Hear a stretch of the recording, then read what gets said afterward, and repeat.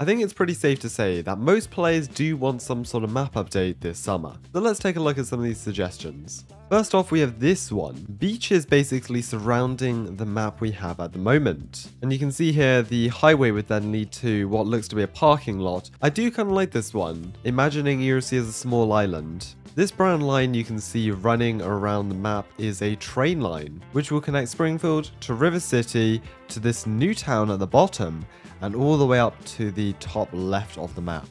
A very big map update, but it would definitely give us some new place to explore.